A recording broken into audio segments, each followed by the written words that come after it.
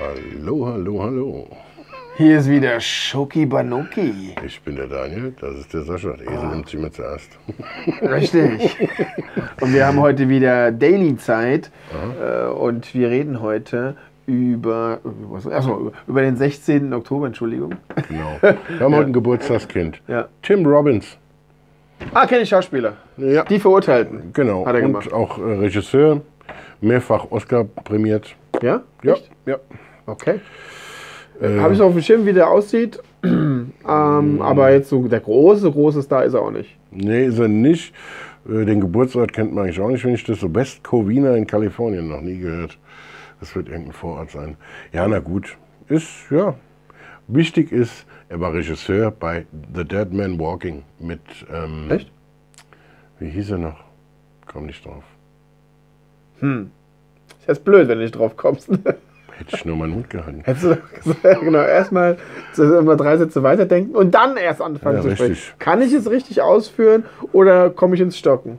Ja, ja ist so ein Tipp für, Mhm. Ja, für die Zukunft. Ja, genau. Fakt ist, er hat bei Dead Man Walking Regie geführt und dafür hat er auch einen Oscar gekriegt. Super Sache.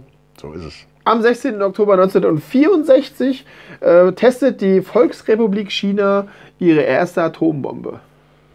Und Okay. wenn ich das so machen würde wie du, dann würde ich sagen, ähm, in, ähm, ah, komme ich nicht drauf. Nagasaki. Äh, komme ich, weißt du es? Nee, nee, äh, steht nicht in den Unterlagen, deswegen kann ich es nicht sagen. Aber, erstmal auf dicke Hose machen, weißt du? Ich wollte es doch nur so machen wie Oh, du. Mann. Ja. Also wenn jemand weiß, ja, äh, ähm, was, wolltest, was wolltest du nochmal sagen?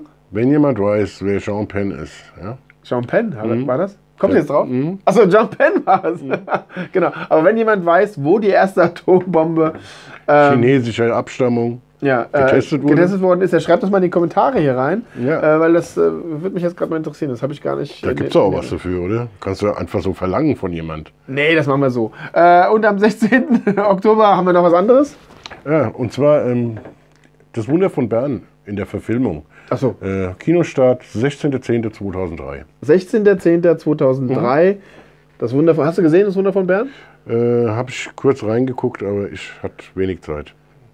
also war, war, also im war Kino, kacke. im, Kino sowieso, ja, ja. ja. Ja, also war nicht, das war auch nicht so dolle. Ja, nee. Es ging, es war für die Zeit was in Ordnung. Irgendwie 2003 hat auch irgendwie so gerade so ein Boom. So kurz vor der WM, ne? 2006 war ja die WM. Ja, das ist, Und der ganze gut- Film ist ein Trittbrettfahrer, wollen wir da mal ehrlich Ja, gut, gut platziert äh, von, der, von der Zeit her, aber wirklich nicht so dolle. sein. Ja. Also, pff, vor allem weiß man, wie es ausgeht. Ja, Ist ja wie Titanic. ist wie bei Titanic. Ja, ja. Das ist äh, bei Titanic im Kino zu sitzen und wenn der Pottner untergegangen ist, da zu sitzen und zu sagen, das hätte ich nicht gedacht. so, äh, Im Stil von Mario Bart. Ja, aha, genau. Ja, das war der 16. Oktober. Am 16. Oktober äh, äh, haben wir jetzt ganz viel gelernt über Jean Penn, Tim Mhm. Robbins, über die erste Atombombe in China und natürlich über das Wunder von Bern, dass es ein Kackfilm ist. Juhu! Ja. Wir sehen uns morgen wieder am 17. Oktober. Ich sage Cheerio, Miss Sophie.